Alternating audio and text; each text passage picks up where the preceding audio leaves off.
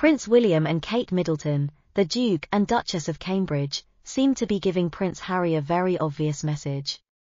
Hi there, and here's where we provide the most recent information on your favorite celebs and royals. If this is your first visit, please be sure to enable alerts and subscribe. The couple's actions were modest but important, and many saw them as a warning shot. The warning shot was a metaphor rather than a real one.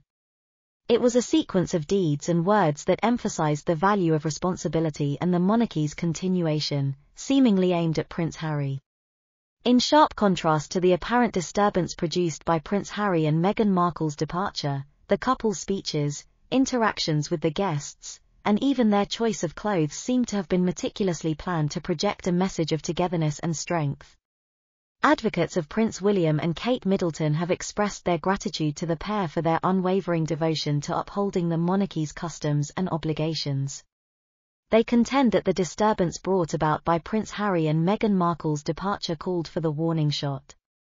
However, the pair has come under fire for allegedly utilizing King Charles' birthday celebration as a platform to advance their personal goals.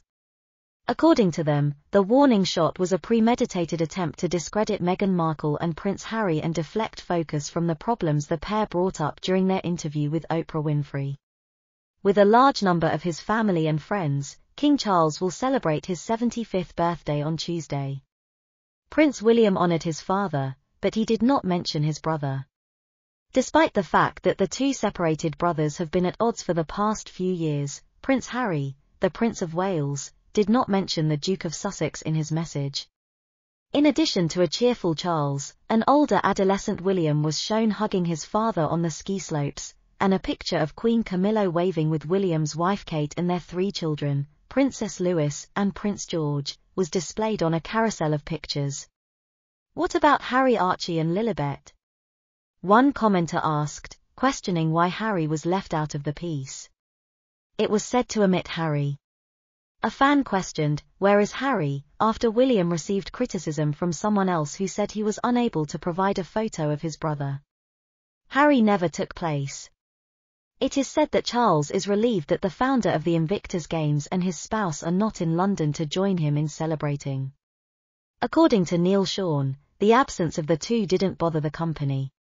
Sean stated to Fox News that the two former royals' decision not to attend the King's birthday party has eased the majority of senior members of the British monarchy. Who needs victims and a family celebration is the conundrum that most of the older family members are faced with. Last week, rumors circulated that Harry and the actress turned down the party invitation. As per Harry's representative, there has been no communication regarding an invitation to celebrate His Majesty's birthday.